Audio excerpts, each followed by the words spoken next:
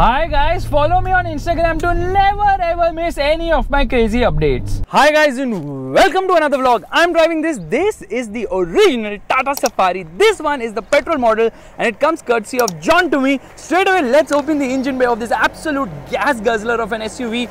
Oh my goodness. Yes, you saw that right. Hydraulic struts back in the day, although one strut is broken now. But that is the engine. It says Tata DOHC 16 valve. My goodness, the engine sounds like a diesel actually to be honest. And now this thing will not shut because it's kind of stuck there, which means I have to push it to get into place. Oh my god, this is so hot. Yeah, does this shut? Yeah, I did. And now we're going to shut this. Anyways, the design of the OG Tata Safari is amazing.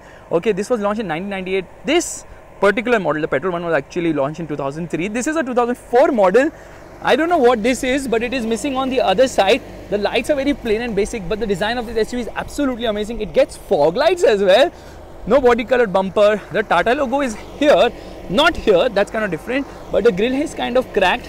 The bumper has holes, but still the car seems to be in decent condition for a car of this age. In fact, Faisal Khan's Fingers of Truth can put their hands almost everywhere they feel like today and this body cladding runs throughout the car. It says 2.1 liter here. The alloy wheels came standard is what the owner actually tells me. The tire size happens to be a 235 75 15. So high profile tires like really high. Side footstep as well and from the side it's a thing of beauty. It still looks so nice. I love the stance of the original Safari. The Safari with the body on frame platform, not the one with the monocoque platform. Rather, the Harrier Pro Max says 16 valve DOHC right here. At the rear, I love the way the spare wheel has been mounted. It says Tata Safari EXI. It was available in both two-wheel drive as well as four-wheel drive variant. It says Tata here. Fastest fingers of truth will stay away from this exhaust because it's huge. Well, that's what she said and you can see there is light there lights actually on indicator can be seen tata says i mean tata is written here you can open the tailgate with a key if you want safari exi written right there and this car also has a rear spoiler with a high mounted stop lamp and obviously because it has a wiper it has to have a spray as well but lot of panel gaps let's open the boot now this is actually an eight seater how one two three four five and this is where the eighth person sits in. Actually, this is where the sixth person sits in and two people can sit in here. Now, this is a little complex to open because once I open this, okay, then I have to actually fold it from here, pull this thing down and that is how two people can actually sit in. You hold this, put your foot right there and get inside only to know that your legs will go into the other person's inappropriate places. So under thigh support is poor. There's no seat belt here. Headroom is not there at all. And there's a light placement here on the top which obviously does not work. Speaker placement right there. And there is door pocket as well which is not very useful. They should have put a side footstep here because you have to climb in like that to go there as well. But you know what? There's a pocket here which obviously is for spawning triangle. And then obviously things are lying here. Seat belt वहाँ पे पता नहीं क्या चल रहा anyways let's shut this and listen to the third. Mm, it does make some sound. Spare wheel where are you? It's here Faisal. I keep forgetting. I'm sorry. I'm so used to seeing it below. 16 valve DOHC Says petrol all over here because people should not fill diesel. Who expects a petrol powered safari? Back in the 2000s well absolutely nobody. This is sort of a land rover discovery. Well you know why? Because to increase the headroom at the rear, let's get inside. Door open nicely. Door pockets are not that big as such and uh, things are obviously not in great condition because quality of Tata cars wasn't the best in those days. In fact, if I pull this, nothing happens. Otherwise, this seat is supposed to fold because it's a 60-40. Now, because the Safari is such a legend, Noren is like, I will sit in this car, I will not move. You can see legroom is amazing. It's absolutely kick-ass. Under the support is also very good. Headroom is also nice. This is a very comfortable place to sit in. Some exposed bits here, no height adjustable seat belts. These are the air vents for the air conditioning system and you can control it from here I shut the air conditioning at the moment. There is a light here which obviously does not work, but oh my god, this is so comfortable. AC vents are placed here also. They could have had some cubby hole. And where is the perfume? I can't find the car perfume here. Just kidding. Oh, I'm not there talking about. One. I'm talking about air purifier, not perfume. What are you doing, Noren? What's wrong with you? Anyways, there's a center armrest which has some amount of storage as well and a lot of mass too. And let's shut this seats are super comfortable. That is the dashboard of the vehicle which is huge. Look at that center console. It's absolute mad crazy center console and window area is also big enough. I think this is uh, just so that you can pull it easily and shut the door because it requires some effort. Let's turn around from here and get back. Okay some dents and bends and stuff like that here and there but look at this car it looks absolutely amazing. I love the safari. I love the old safari. My only regret is of not buying the safari storm before it got discontinued. Here you see door pockets are big enough. These are the controls for the power windows. These are the controls for the outside rear mirror adjustment. It does not work. Ac vent is given on the door. So there is this gap through which the air conditioning actually flows. But here is the thing the usp is that if you're feeling hot you can just put your head here and draw in cold air directly to your face. That's a revolutionary feature. Tweeter right there and this is to demist the window so that you know you can easily see what's around.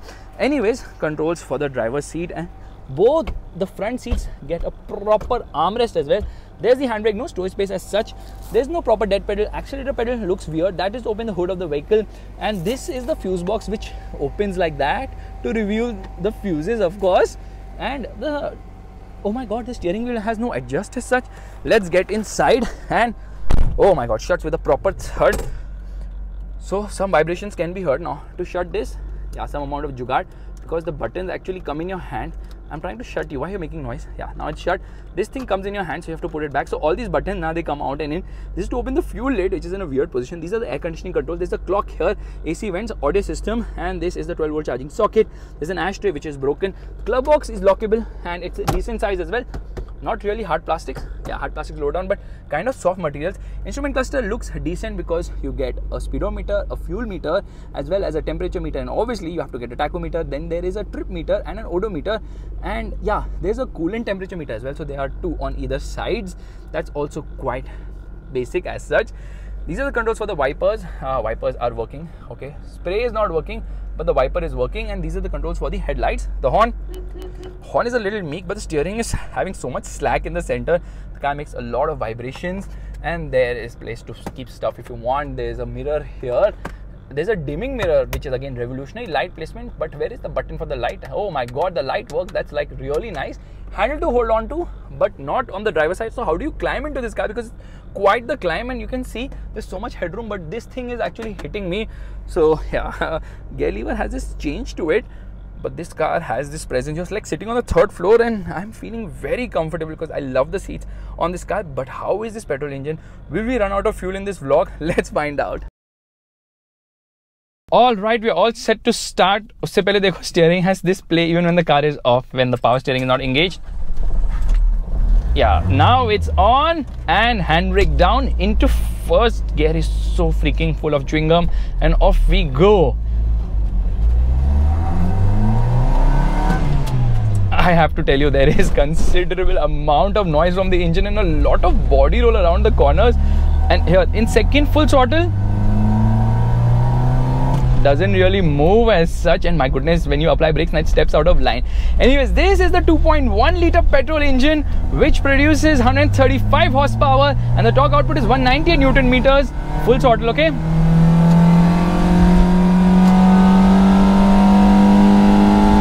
Holy moly cow! 7000 rpm red line that's absolute crazy. Take that VTEC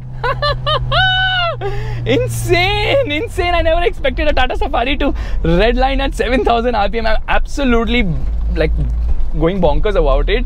Anyways 0 to 100 kilometers per hour still takes a lethargic 17 seconds and that's largely because this is a heavy car. It weighs the same as the diesel that time the diesel okay? And uh, let's go quickly through the history of the safari. Before that let me tell you that this engine is very noisy doesn't have refinement and has some grunt in the mid-range but overall it is more linear doesn't have that punch which you would expect. Only thing is that time the diesel was so lethargic with 90 horsepower took 10 seconds more to go from 0 to 100 kilometers per hour when compared to the petrol and the petrol then being 10 seconds faster also drank 10 times more fuel because the fuel efficiency is around 5 to 6 kilometers per liter. That's absolutely crazy. This engine is developed by Tata Motors. Yeah, that's right. Tata Motors actually developed this engine. And why am I laughing? Because this engine kind of feels like a diesel engine the way it has so much vibration so much noise poor refinement and all. So when they developed this engine they had to take support from avl and still from then they have always taken support from avl whenever they needed anything. Steering has absolutely no feel or feedback in the center right position. It's like so lackluster. It does not feel like a hydraulic steering although this is a hydraulic steering and then we are into higher gear. Now problem is the car keeps stepping out of line all the time and the fuel efficiency was bad but performance was relatively better than the diesel. The diesel that time was the 2 liter tcic turbocharged intercooled motor produced 90 horsepower actually 92 horsepower in euro 2 guys and 87 horsepower in euro 3 guys. Very slow very lethargic so the petrol was like oh my god wow. But you know nobody really bought the petrol so they launched it in 2003 and discontinued it in 2005 in two years this is a 2004 model and it can keep up decent space at the highway around 100 kilometers per hour. At that time the scorpio was its main rival and high speed stability is quite bad. The suspension is so soft now that the ride quality is unbelievably good. It rides so smooth. It's it, like the ride is unbelievable to be honest. It is a very smooth car in terms of ride comfort and that's where it excelled giving you a real good view of what's around you. And it says airbag here. So the car has airbags also which is again amazing. Nuren right or left? Tell me quickly. She's looking confused. U-turn. U-turn? No, this is a very short distance. I want to drive more. If I take a right, then I can take another U-turn from there.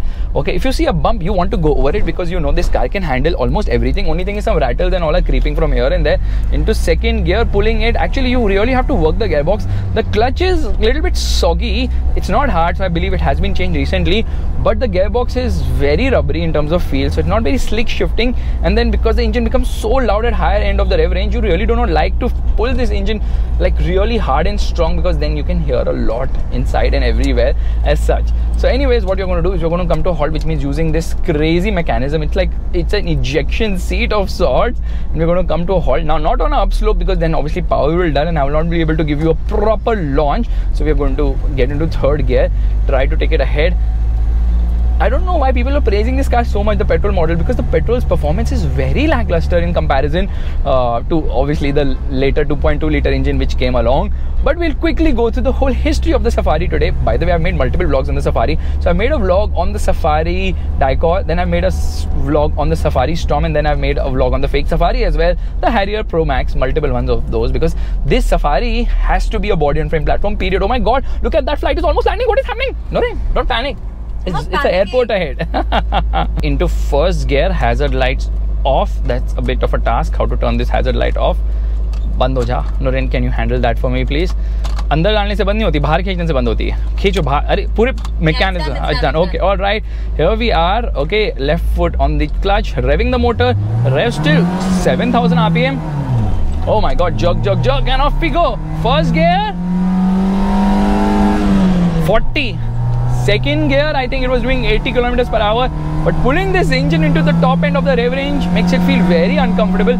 By the way the same engine was also used in the tata telco line something of that sort which was sold abroad with cng the thing is this engine is uh, okay it's not great honestly.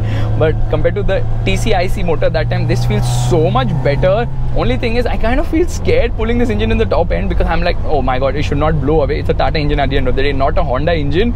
And uh, this is rear wheel drive. There was also four wheel drive option. The price of this car was between 11 to 13 lakhs on road which made it more expensive you won't believe it Then the diesel why would Tata Motors charge more for a petrol model when compared to a diesel? Absolute no logic, maybe for the better performance. Like I told you, the diesel had lackluster performance. So in 2005, Tata actually launched, sorry, in 1998, Tata launched the Tata Safari, which was a replacement to the Sierra. And this model was on sale from 98 till 2005. In 2003, the petrol model came along. They launched it with a 2 liter TCIC diesel engine, which was uh, obviously borrowed from Peugeot because you know now the Armada and all the older Tata and Mahindra cars had Peugeot sourced engines. Even now, they have Peugeot sourced engines, which we'll come to in a bit. Now, this 2 liter engine was lackluster. So in 2005, they came up with a 3 liter engine, which was known as the Dicor, okay, which was direct injection common rail. This was uh, producing more power and torque 300 newton meters of torque i believe and 115 something of that horsepower and uh, this engine was okay but not great but what tata motors did was for export market they were giving a 2.1 liter uh, Peugeot sourced engine. Yes, that's right. Again, they went back to Peugeot only for export markets because they're like they cannot give such kind of performance. Although that engine used to produce hardly like 90 horsepower and used to take around 26 seconds to go from 0 to 100 kilometers per hour. Absolutely baffling. We're in fifth gear at the moment. And then in 2005, they uh, this uh, 3 liter engine came uh, and they also made a lot of cosmetic changes. So you can call it the facelift of the Safari. So till 2007, it was on sale, and in 2007, they again made changes and they came up with the 2.2 liter engine, which they call as the VTT Dicor. Okay, that engine produced 140 horsepower, great performance, and that was on sale from 2007 till 2017. Although in 2012 it was technically supposed to be discontinued when the Safari Storm came into the picture, which is the third generation of the Safari, which was on sale from 2012 to 2019. And in 2019, of course, you know what came along? Nothing, because the Safari got discontinued due to crash test norms, emission norms, and all those things. And then 2021 they got the Safari name back after thinking many times should we name it Cassini, Buzzard, or Gravitas. They're like, okay, let's call it the Safari, the Harrier Pro Max, the Harrier 7 seater. Now the thing is that uh, this is obviously a body on frame platform. The Safari current one is uh, yeah monocoque platform has front wheel drive. This is normally rear wheel drive Tata launched so many variants of the Safari, you will go absolutely bonkers. You won't believe there was a variant of the Safari, limited edition model. I still remember going to the Tata Motors dealership and going absolutely crazy looking at it as a child. Okay, it had a refrigerator, it had a camera, rear parking camera with 130 degree view, and it had two screens, LCD screens right behind the front headrest and that's not all, it even had a PlayStation 2 inside the car. yeah, that was the limited edition of the Tata Safari because it's such a huge car they could have so much space for doing all these things that I mean, why would they do that? Then they had the GS800, which came in around 2015-16 when the army decided that we should replace the Gypsy with something much better. So they had put out requirements for the replacement, which is GS800. I think general service 800. 800 is the payload capacity, and the Scorpio was also competing for the same, but after one and a half years of testing, finally the Safari won, and the Safari GS 800 was made by Tata Motors and supplied around 3,200 units to the army. Now the difference here is that uh, the GS 800 has 60% more payload capacity when compared to the regular Safari Storm. Along with that, it also has, I think, 60% uh, more power, 70% more torque, 70% more power, 80% more torque, something of that sort. Such a wide car. How do I remove it from here? But I will. And off we go into first power delivery is completely flat. There's so many flat spots now. It's kind of crazy. Now here we're going to take a U-turn where this car does feel a bit cumbersome because of the weight and the turning radius and the height and the size and everything you can name. But we shall manage. this car was such a emotion back in the days. But unfortunately, Tata Motors just took this car out. And that 2.2 liter engine again taken from Peugeot, derived from Peugeot, sourced from Peugeot, and then worked with AVL. then that's the exact same thing which Mahindra also did. So the Mahindra Scorpio's engine and the Tata Safari's engine are very similar. Only thing is that uh, the fuel injection system is different. One uses Bosch, one uses Delphi. Uh, Mahindra uses the better one. That's why the engines are better. And till date tata motors has not made a single good petrol engine because the ones which we see in various smaller tata cars like the tigor and tiago and Altroz and all doesn't feel as good as say the Japanese counterparts. And the diesel engine, the 1.5 liter diesel, is the only good engine which they've made technically speaking because the engine in the Safari and the Harrier is sourced from Jeep, yeah, the one which powers the Compass as well as the Hector. So yeah, that's a little bit of a bummer. Tata Motors really needs to work on its petrol engine.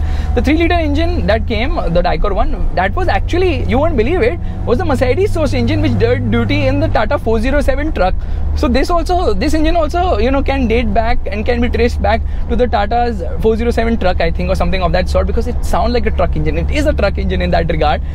Oh the good old days the safari has a real character and as and when they came up with newer models the character kept going down and down and down and finally out as well so that's the disappointing part I think the top speed will be around 120 kilometers per hour. If you drive it very sanely, it can still return around 8 to 9 kilometers per liter out on the highway. But in the cities, 5 to 6 is the best you can manage. And it has a 65 liter fuel tank, which it sips like this. It's gone in 60 seconds. The whole fuel, of course. I wish the gearbox was slightly better shifting and I wish the steering would point in the direction I want to really go into. We're going to come to a halt here and we're going to launch again. Traction control off because there's none here. There's no ABS either. Into first gear, revving the motor and off we go.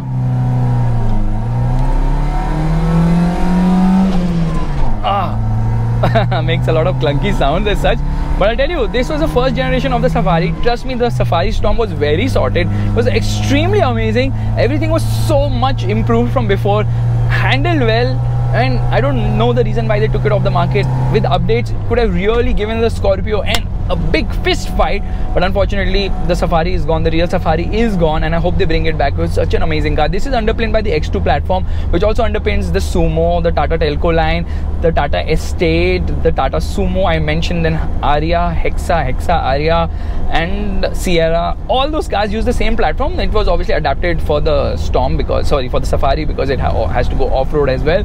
And yeah, it has a nice uh, four wheel drive system. Earlier ones had manual locking hubs, and they came up with uh, um, you know auto locking hubs, and a lot of changes came.